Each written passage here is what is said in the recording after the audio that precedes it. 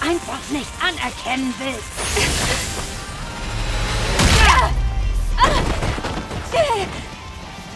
Glaubst du wirklich, dass du die Mission abschließt und wieder zur Kolonie zurückkehrst als Heldin?